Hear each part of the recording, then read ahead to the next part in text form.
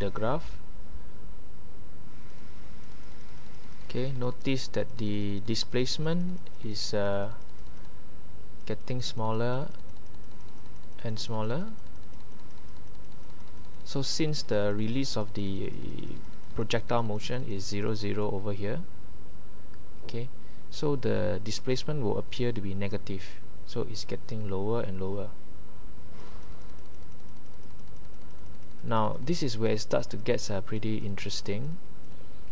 When it hits the table the display the the ball will bounce back up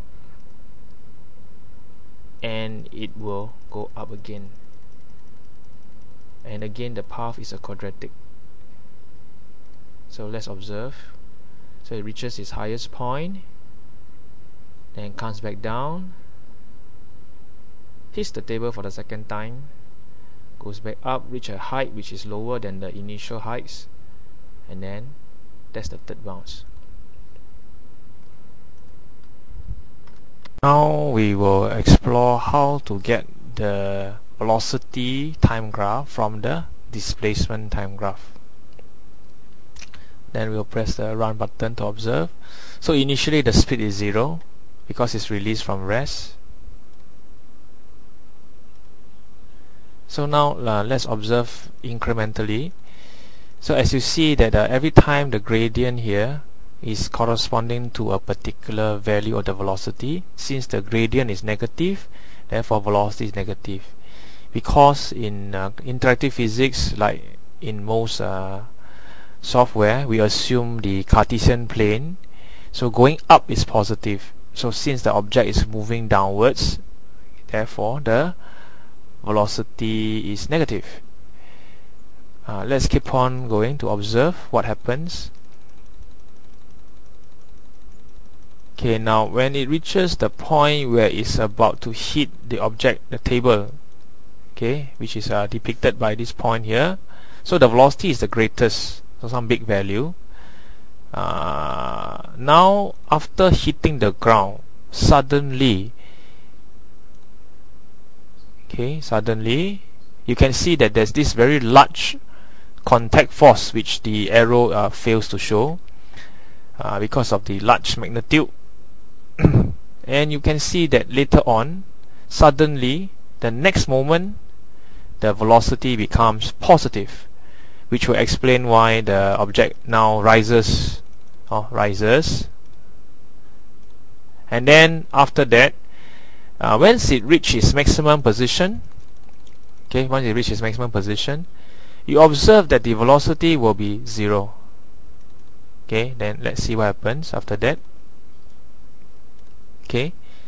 Now after this you'll find that it hits the table for the second time. Okay. Then you get this uh, contact force again uh, Ft contact force then after that the next moment after hitting the ground the velocity it becomes positive. That means uh, the object will now move up go up and come down again. And eventually it will uh, not move. Okay now we are going to observe again for the acceleration.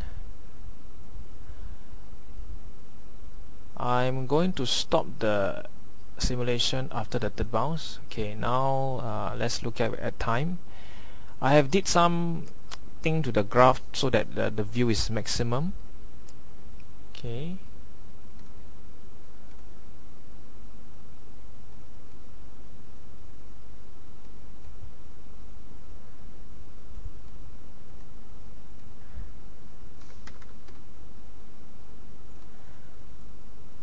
okay so what happened is this uh, let's look at the animation again the simulation. As the object falls it's falling at G. So you can see that there's this tiny red line which is slightly below the zero acceleration line. So this correspond to negative 9.81 okay as you can see from the arrow here A meaning acceleration. As it falls acceleration is constant so which means that this is a horizontal line. Uh, but something happens when it hits the table oh, let's uh, get to that part. Okay now for a moment in time to get the acceleration you need to differentiate the velocity time graph. Now because the velocity time graph from here to here is a very large gradient. Oh, very large gradient. So which explains why that the object will have to experience a very large acceleration upwards in order to have this great change in velocity over this tiny little time. So uh, because again f equal ma so you find that the acceleration because of this large acceleration there must be a very large uh, net force which is actually the contact force minus the weight of the ball. So the next moment in time after leaving the table you find that the acceleration goes back to g again. That means the contact force the total force is only acting during the duration of impact with the table. After that acceleration is back to g again. Uh, let's see say g all again g all the while. Come back hits the ground. Okay because of this large change in velocity over this little time it will respect it will correspond to a very large acceleration. So you'll shoot up to some high value which is not shown. Then after that when it leaves the table acceleration go back to g. Then after that the third bounce